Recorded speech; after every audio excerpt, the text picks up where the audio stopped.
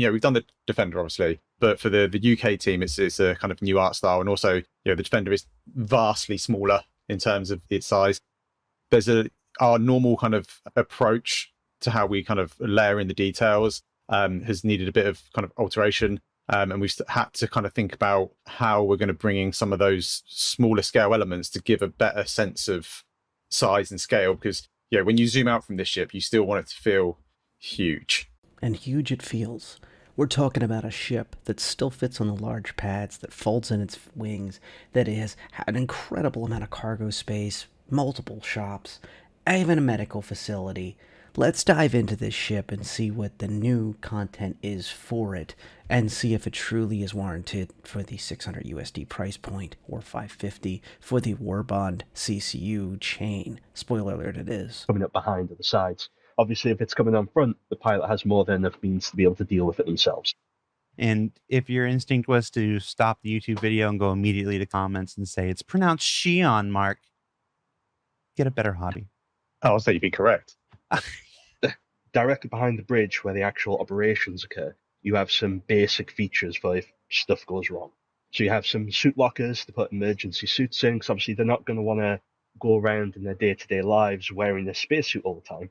But if something goes wrong, they do want them to hand. So next to the actual escape pods, you have your suit lockers to quickly get suited and booted, and then be able to get into your escape pod and get out of there if you need to. So they have one on either side, one for each of the actual crew that would be on the bridge, as well as a couple of extra, because leading a little further down, we actually have the, the more habitation side of the ship, but we'll we'll get to that when we get there. Directly behind, we also have the entryway to get inside the main man turret. This is kind of one of the rooms that we spent a bit of time kind of playing with in white box and making sure we got it right. I'm experimenting with a slow motion effect, trying to give you a good visualization of what they're covering while I cover it. Please add in the comments below or just reach out to me in Discord if this works for you or if it's kind of jarring. Uh, just kind of indicating where I'm at and where they start speaking again straight up. So the cockpit, the safety zones like the ejection areas, like the escape areas and the suit lockers and such are right easy access to the cockpit.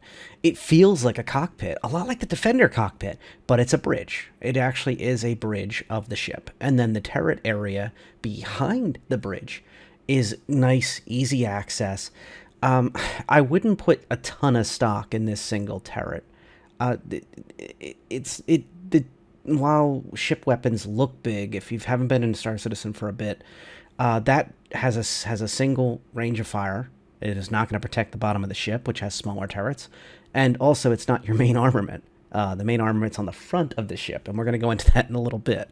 But just bear in mind, it is a nice little selection there, and I could see two or three players being able to handle this area and easily be able to transition from working the bridge to doing damage control or even escaping, uh, getting on the turret and such, all in the same location. I like the layout not meaning to to uh, to tear it apart or anything.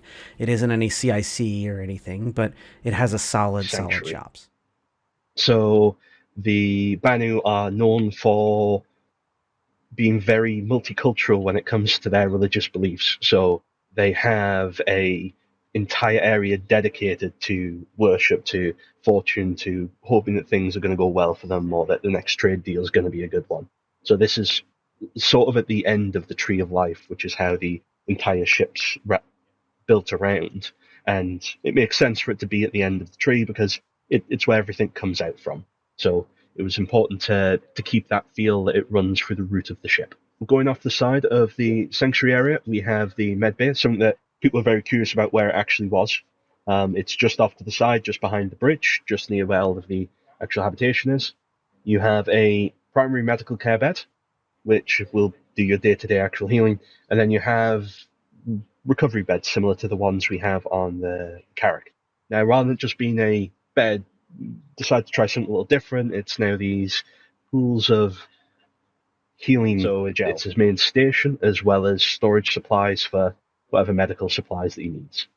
Obviously, at the moment, it's just the back of the bed, but it's where you do refills on the bed or anything else that you'd need to do. Obviously, the doors across the entire ship are very alien in appearance.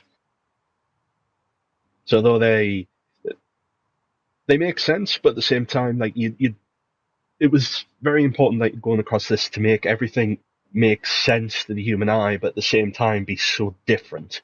So this updates the 2021 map a little bit. Sorry, no slow mo here. I wanted to really show the visual of the cutaway of the ship to give you an idea of what if you're considering the ship or if you're considering well boarding the ship or doing commerce on the ship whatever your case may be uh, get an idea of what you're getting into you can see the sanctuary uh, basically at the top on the right side just below the turret the, the top turret that we saw earlier in the bridge and such. The sanctuary is the next floor down. You can use the elevators you can use the stairs and uh, get back and forth to that location. Notice that the crew elevator goes up higher to the bridge and sanctuary and such, into the crew areas and the medical, than the uh, the guest areas elevator. I've said before that this is going to be kind of a headache for uh, crew members. If somebody says they need a recovery, that recovery gel pool stuff, or needs a primary medical bed, they will need to go to the private side of the ship to get medical treatment my hope is that in that market they will allow clinics and bars and such like services and then that won't be necessary. So if you want to work on a on a, on a planet where you may not trust every single player npc etc uh, but you want to do business in the public side where you have guards and such uh, th- this would be a wiser move than having a private medical facility being the only medical on such a large ship. Although this is this might be considered a nitpick to some especially if you don't intend to do business in sketchier areas uh, or without people being friendly to your organization or uh, maybe just NPCs and friends of yours, etc.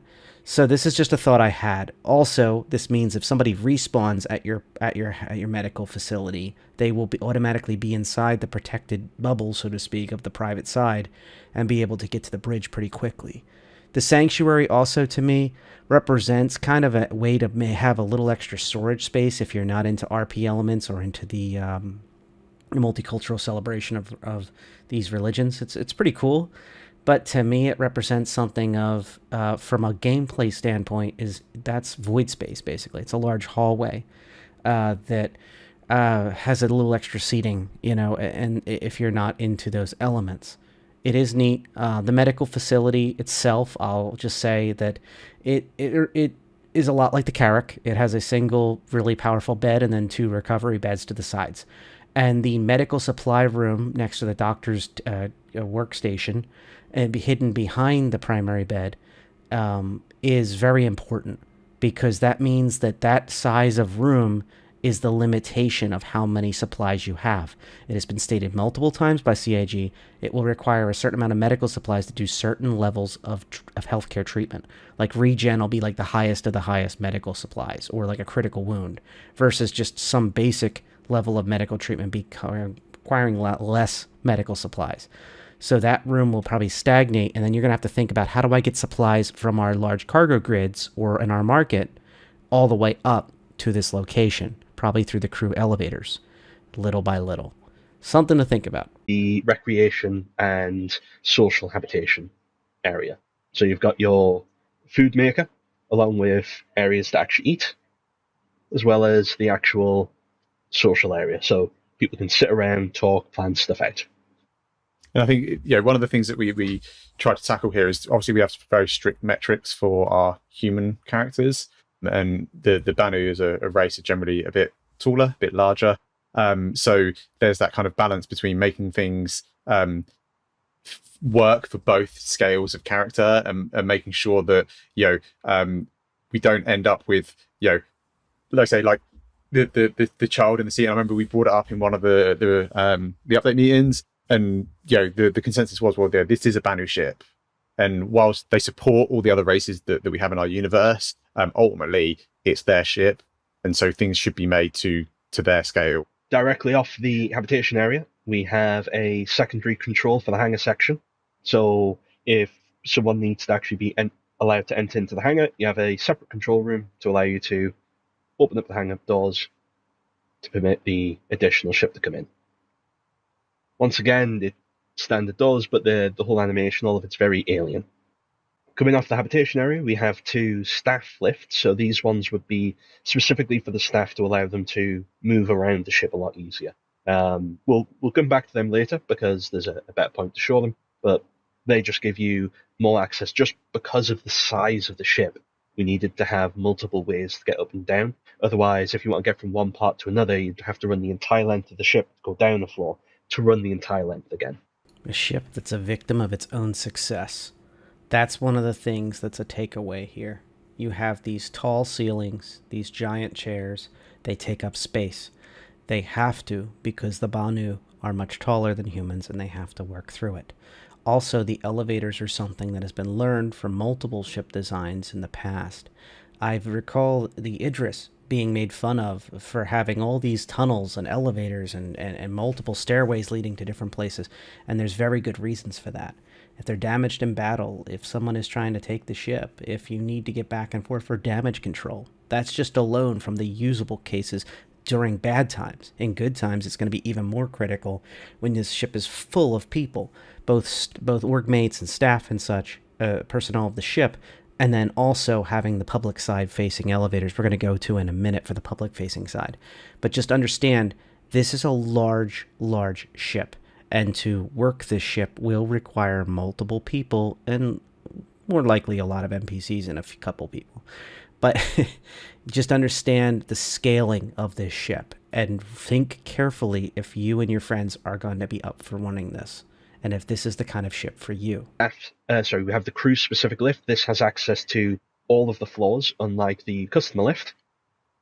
This is the passenger entrance area, so the lift uh, will go to this floor for all of the passengers, which then gives them a little foyer area before they enter whatever floor they're on. We have the meeting area. So this is the conference room where important delegates would come to discuss significant trade negotiations rather than I'm going buying a power plant, I'm going to buy fuel. This is where serious conversations and serious negotiations go. Yeah, this, this has got like a really nice view out over the um, like cargo hold as well, doesn't it? Yep.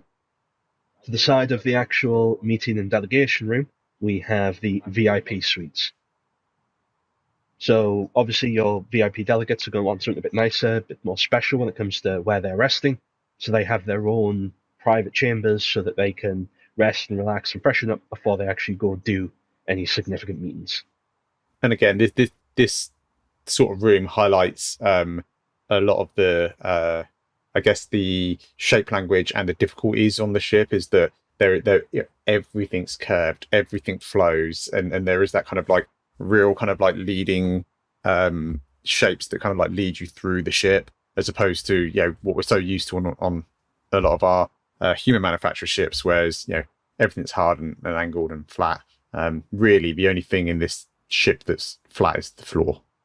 So the negotiation table has one seat at the top, for the actual mediator, which obviously would be a member of the crew, and then even number seats on either side for the delegates to have their discussions. From the actual meeting room, you get a fantastic view of the cargo hold where all of your goods would actually be stored. As you can see, the amount of cargo that the ship holds is colossal. And just the sheer volume of it gives you this cavernous, cathedral like view of being stuck in the rafters of a warehouse worth of stock. Yeah, it gives you a real sense of how tall the ship actually is. Uh, when we get to the the, the market, um, you kind of get a glimpse at that, but it's not until you get into somewhere like this that spans the whole, or not even the whole height. You've got the hangar above the, the height of this, um, that how how big the ship actually is. Let's just get this out of the way now. Those VIP rooms are going to be for your org mates. Uh, I can see small orgs staging entire organizations out of this dang ship, and systems like Pyro or somewhere like that, if it has enough cover and such, uh, until you get your feet on the ground and outposts are in and such. Uh, side note, those cargo areas, the way they're split up is actually a tactic they said they used in the Kraken to keep the cargo down to a certain amount. There are like elevators, I think, on the sides when you get to the end of those cargo, the center of the cargo grids, like the, the center of the cross there, the square. And um, but really, that's a ton of cargo lost uh, in those areas. I think that's for balance reasons. And uh, that, that was specifically why they did that in the Kraken. They had the one massive cargo hold in the vanilla Kraken, and their finance and, and economy people were like, this is too dang much cargo for the size. I think with the cargo refactor, it's going to be really interesting to see the amount of SCU it actually totals out to. Once again, that's all going to change very soon. In an attempt to try to keep these videos evergreen, you can see for yourself it is a massive cargo hold. And uh, yeah, it is very exciting and it is great to have org support with those small with those uh, nice big rooms. And as a reminder you will need those personal rooms because you'll be living out of ships like this. And the bigger the room the more storage space is what we're assuming at this point. The kind of customers are going to see when they first walk into the ship is this sort of like reveal um, of the market area? And what we tried to do in in, in this area is um, kind of everywhere you walk into it you're kind of um, walking through a, a small tunnel or you know quite a tight space so that when you kind of do walk into it it does then open up and you can see that sort of like that that grandeur and that height of the ship. And you know this is only two out of i think it's five or six floors at this point of, of you know the, the part of the ship you're in.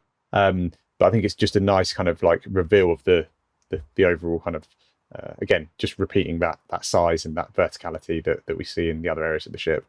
Um I think we've already shown a lot of the concept art of this area already.